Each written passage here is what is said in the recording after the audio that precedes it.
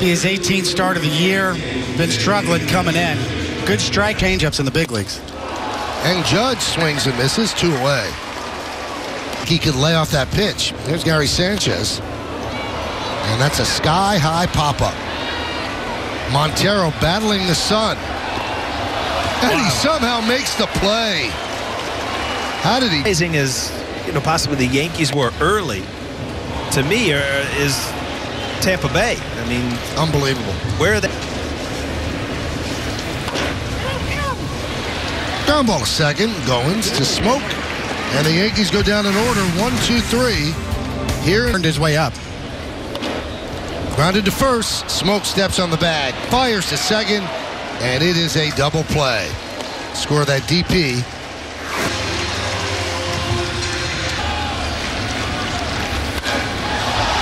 Fly ball. Deep right center. Pilar back. Track.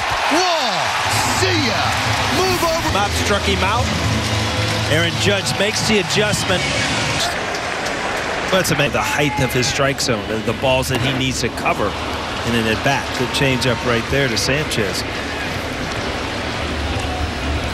2 2. Swing and a miss. Two away, and that'll bring up Headley.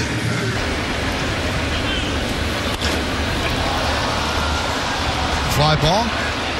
Center field, and Pilar puts it away. Yankees have. You have to put it into context and go back to last year. Hitter. Runner goes.